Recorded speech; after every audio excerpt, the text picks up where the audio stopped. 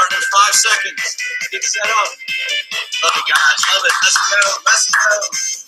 Three, two, one. Let's go. Good. Move those feet. Good. Keep that back foot behind you.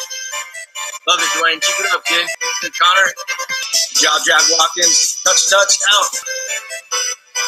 Touch outside. Good, Dwayne. Good, Zach Spears. Move those feet. Good, Max. Push it. Five more seconds.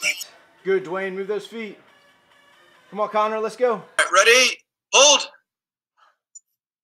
All right, quite a few of us that I'm seeing when I'm coaching here through the camera.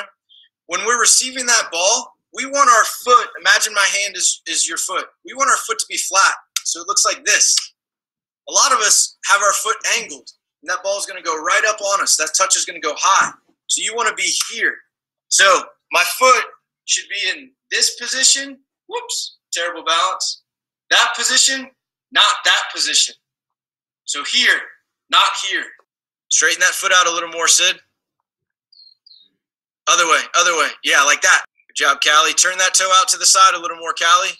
That's great, Callie. Two more seconds. There you go, Chloe. Rotate those shoulders, Chloe. Love it, Dwayne. Love it, Dwayne. Keep it up, kid. Way to be creative.